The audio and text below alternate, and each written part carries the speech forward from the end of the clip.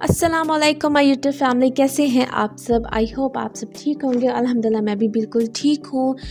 तो जी, यहाँ पे मैं लेके आई हूँ आपके सामने मिट्टी के बर्तन, जो मिट्टी के बर्तन बहुत पसंद हैं।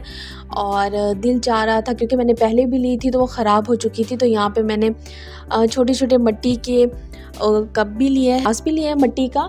उसमें मैंने कहा, पानी पीने के लिए, और अच्छा होता है, इसमें कोई भी जरासीम नहीं रहते। इसके बहुत ज़्यादा फ़ायदे होते हैं और मिट्टी में बनाना तो इसका टेस्ट बहुत मज़े का बनता है, बहुत अच्छा इसमें खाना बनता है, इसका टेस्ट बहुत मज़े का आता है।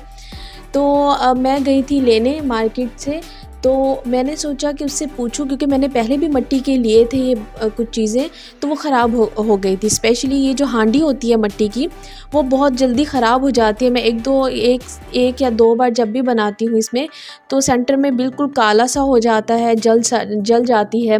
तो मैंने उससे पूछा कि इसे क्या करना है तो उसने मुझे बोला कि आप ये जो मिट्टी की लेके जा रही हैं, इसे तो आपने पाँच छः घंटे पहले किसी बड़े से टब में पानी में भिगो के आप रखते हैं। चार से पाँच घंटे आपने लाजमी रखना है, पानी ये जितना पीना होगा ये पी लेंगे।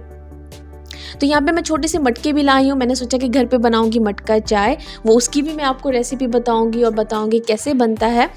और यहाँ पे जी मट्टी की हांडी को मैं भिगो रही हूँ पानी में। तीन से चार घंटे यहाँ पे मैंने भिगोया। अगर आपके आप भी लेना चाहते हैं तो इसे भिगो के रख दें। ये एक बहुत ही अच्छा इसकी बहुत अच्छी टिप्स मैं आपको बता रही हूँ मट्टी के बर्तन की कि अगर आप ऐसे करेंगे तो ख़राब नहीं होगा।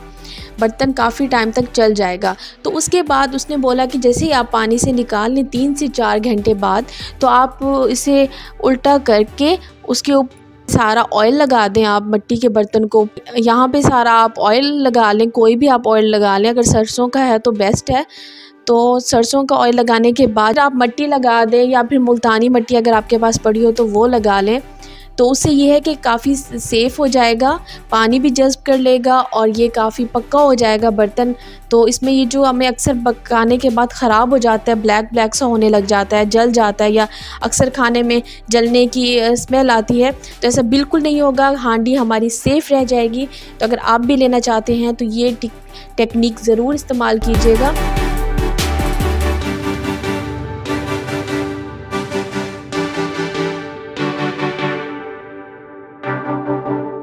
तो यहाँ पे मैं जो ऑयल लगा रही हूँ, उसके बाद मैं मट्टी लगा के रख दूँगी।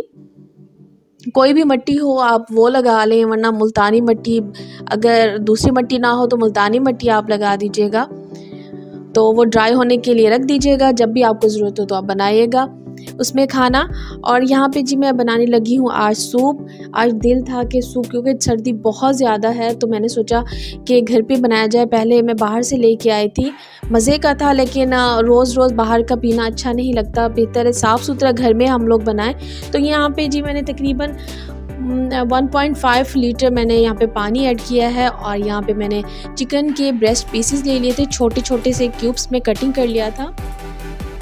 तो यहाँ पे तो हम, आजकल फार्मी मुर्गी है, हम वही इस्तेमाल कर रहे हैं। अगर देसी मिल जाए, या देसी का बनाना चाहें तो फिर आप हड्डियों के साथ डाल दीजिएगा। बाद में उसका आप स्टॉक निकाल लीजिएगा, हड्डियाँ अलग कर दीजिएगा, और छोटे छोटे आप उसे चिकन के, चिकन हड्डियों से अलग करके वो डाल दीजिएगा। वैसे तो यख देसी चिकन की हो तो बहुत अच्छी लगती है और ताकतवर होती है।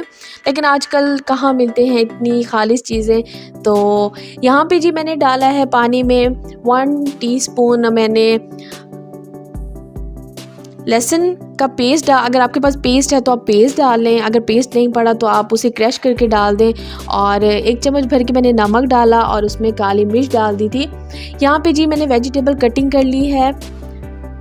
बंद गोभी है गाजर है अगर चाहें तो शिमला भी ऐड कर सकते हैं। मुझे शिमला पसंद नहीं है क्योंकि वो फिर टेस्ट उसका अजीब सा आने लगता है। ये प्रॉपर वैसे जैसे मैं आपको बताई हूँ रेस्टोरेंट की आ, रेसिपी है। बहुत मज़े की मैं हर साल बनाती हूँ और ख़ुद भी घर वालों को भी और स्पेशली मेरी फैमिली वाले मुझे फोर्स करते हैं कि सोनिया, तुम ही बनाओ सूप और हम लोग बैठ के पियेंगे। तो मैंने सोचा, चलो ठीक है, एक बाउल का बना लेती हूँ। क्योंकि ये मेरी सर्दियों की फ़र्स्ट रेसिपी है जो प्रॉपर सूप की, वरना मैं काफ़ी टाइम से पहले स्टार्ट कर देती हूँ। अभी फिर भी ठंड के स्टार्टिंग में शुरू कर देती हूँ, लेकिन अभी फिर भी ठंड काफ़ी है। तो मैंने सोचा कि अब ये मैं सर्दियों की पहली ही रेसिपी बना रही हूँ सूप की। हर साल बनाती हूँ। तो अभी ये पक रही है, इसमें चिकन भी सॉफ्ट हो जाएगी, वेजिटेबल भी सॉफ्ट हो जाएँगे, पानी भी ड्राई होता रहेगा। तो यहाँ पे जी मैं सोया सॉस ऐड कर रही हूँ, तकरीबन दो दो खाने के चम्मच मैं इसमें ऐड कर रही हूँ, सिरका ऐड कर रही हूँ, साथ में चिल्ली सॉस ऐड कर रही हूँ और मैं टू टेबल स्पून डालूँगी चिल्ली गार्लिक कैचअप। इससे बहुत मज़े का फ्लेवर आता है। आपसे हैं भाई, मेरे व्यूवर्स किधर हैं? मुझे नज़र नहीं आ रहे तो प्लीज़ मुझे कमेंट करके बताएँ कहाँ हैं लोगों के। मैं देखती हूँ व्यूअर्स इतने अच्छे हैं, साथ देते मेरे व्यूअर्स चुप है, गुमसुम हैं। तो कहाँ चले गए हैं मेरे व्यूअर्स जल्दी से मुझे कमेंट करके बताएँ, आप सब कैसे हैं? क्या हो रहा है आपकी रूटीन डेली रूटीन क्या है? आप लोग किस तरह सूप बनाते हैं? तो अगर आप सर्दियों में सूप बनाना चाहते हैं तो ये रेसिपी ज़रूर ट्राई कीजिएगा। बहुत मज़ेदार यमी सूप बनता है। और कौन हो तो आप वो भी ऐड कर सकते हैं। हॉट एंड सॉवर की बना रही हूँ रेसिपी अगर आपके पास कॉर्न है टिन में मिल जाते हैं, लेकिन आपने लेने हैं तो अमेरिकन लेने हैं, क्योंकि वो बहुत मीठे भी होते हैं और बहुत ज़्यादा सॉफ्ट भी होते हैं। वो वैसे भी आप कच्चे भी खा सकते हैं, बहुत मज़े के बनते हैं। तो अगर आपके पास नहीं है तो कोई मसला नहीं, अगर हो तो आप वो भी ऐड कर सकते हैं, क्योंकि अक्सर लोगों को चिकन कॉर्न सूप पसंद होता है। रेसिपी का तरीका का सेम यही होता है। तो अक्सर ऐसे होता है कि बाहर से हम लोग जाते हैं अंडे की स्मेल आती है तो मैं घर पे जब बनाती हूँ साफ़ सुथरे कटिंग करके और उसमें स्मेल नहीं होती, बिल्कुल भी क्योंकि हमें, हम अच्छे तरीके से पकाते हैं साफ़ सुथरा करके तो यहाँ पे पक रहा है और साइड पे जी मैंने तीन टेबल स्पून डाले हैं। कॉर्नफ्लोर के थोड़े से पानी में हाफ़ कप जितना पानी है तो वो आपने इसमें ऐड कर देना है।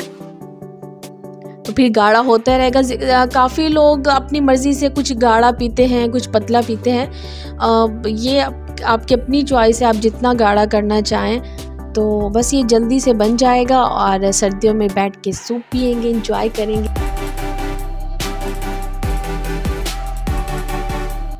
और यहाँ पे जी मैंने दो अंडे लिए हैं। उसमें मैंने थोड़ी सी हल्दी डाली है थोड़ा सा नमक डाला है। हल्दी से ये है कि इसमें स्मेल बिल्कुल नहीं आएगी। ये एक मैं आपको बहुत अच्छी टेक्निक बता रही हूँ। जब भी आप अंडा डालें, उसमें आप थोड़ी सी हल्दी डाल दें। उससे सूप में स्मेल नहीं रहेगी और यहाँ पे गाढ़ा भी हो रहा है और यहाँ पे दो अंडे अगर आपके पास देसी हैं तो वेल एंड गुड वो तो सेहत के लिए बहुत अच्छे होते हैं। आप कोशिश करें जब आप सूप बनाएँ या आप उसमें चिकन डालें, देसी की बना लें, देसी नहीं मिल रही तो आप चिकन के ये जो फार्मी मिल रही है उसके आप डाल दें छोटे छोटे पीसेस करके, उसकी आप हड्डियाँ ना डालें क्योंकि इतनी मतलब ख़ास उसकी गजायत तो नहीं होती, उन्हें जो फ़ूड दिया जाता है वो इतना सेहत के लिए अच्छा नहीं होता, आप बेहतर है कि आप चिकन के क्यूब्स ले लें और उसके साथ फिर आप बनाएँ। और यहाँ पे जी अगर देसी आपके पास अंडे हों तो आप वो लाजमी डालिएगा। तो मैंने अंडे डाल दिए।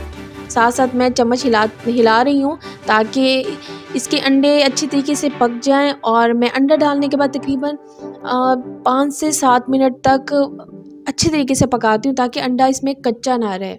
अक्सर ऐसे होता है कि बहुत ज़्यादा स्मेल आती है, घर वाले नहीं पीते या हमें भी अच्छा नहीं लगता तो अगर प्रॉपर अच्छे तरीके से पका हुआ हो तो स्मेल बिल्कुल भी नहीं आती। सूप हो, फ़िश हो ये सर्दियों में लाजमी इस्तेमाल किया करें। स्किन भी अच्छी रहती है। हम लोग भी इसी तरह से फ़िश हो गया, मसाला लगा के रख देते हैं। जब भूख लगती है किसी को तो उठा के फ्राई। टाइम की भी बचत हो जाती है काफ़ी। अल्लाह ताला आप सबको हमेशा खुश रखे और थैंक यू सो मच इसी तरह आप सपोर्ट करते रहें मुझे। और मुझे बताया करें कि आपको मेरा व्लॉग कैसे लगता है। आप ज़्यादा से ज़्यादा शेयर भी किया करें। तो बस मैं अब सूप ऑलमोस्ट मेरा रेडी हो गया। एंड में जी, मैं डालूँगी इसमें ग्रीन चिल्ली डालूँगी। उसे बारीक बारीक क्रश करके या फिर आप बारीक बारीक कटिंग भी कर लें तो वो उससे बहुत मज़े का फ्लेवर आता है और बहुत अच्छा लगता है। यहाँ पे अब मैं थोड़ा सा गाढ़ा करूँगी क्योंकि पतला भी नहीं पिया जाता। चिकन भी बहुत अच्छे से सॉफ्ट हो गई है, सब्ज़ी भी हो गई है। तो ये जी, माशाल्लाह से रेडी हो गया है सूप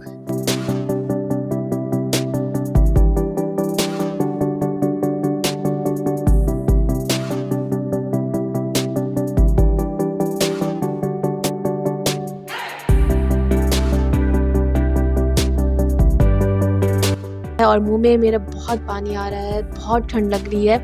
तो मेरा यहाँ पे जी सूप रेडी हो चुका है। अब मैं इसे डिश आउट करूँगी और घर वालों के साथ बैठ के पीऊँगी। और जिसने भी पीना है, वो जल्दी जल्दी आ जाए और बैठ के मेरे साथ सूप पिए। तो जी, आज का व्लॉग मेरा यहाँ तक था। इन मिलेंगे नेक्स्ट व्लॉग में। अपना बहुत सारा ख्याल रखिएगा, मुझे दुआ में याद रखिएगा। Take care. Allah Hafiz.